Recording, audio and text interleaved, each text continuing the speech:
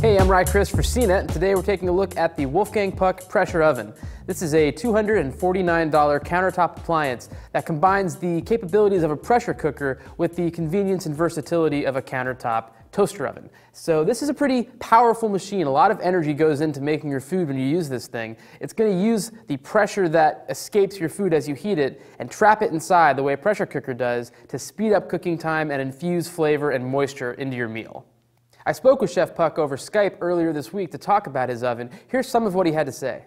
I thought like three, four years ago, I said, wouldn't it be great if somebody could help me develop an oven more for the restaurant first, where you could roast, for example, a chicken. Everybody in the restaurant says, I want a great roasted chicken. And people talk about it like it's the second coming. Then they said, you know what, this is perfect for the home use.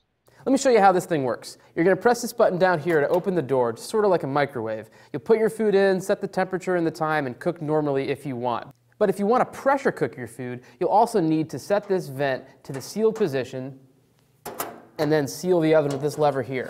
When you're finished pressure cooking and you want to take your food out, you'll need to vent the machine first. You'll do that by switching the gasket over to vent mode, letting all that heat that's built up escape, and then you'll unseal it, open it, take it out, it'll be fine. But if you don't do that, you risk scalding yourself. So there is a little bit of extra care involved with using this machine. Now this oven claims that it can cook a 14 pound turkey in under an hour in the pressure cooking mode. We can't wait to try that out in our test kitchen, and when we publish the full review in the coming weeks, we'll be sure to let you know how it does. For CNET, I'm Ry Crist.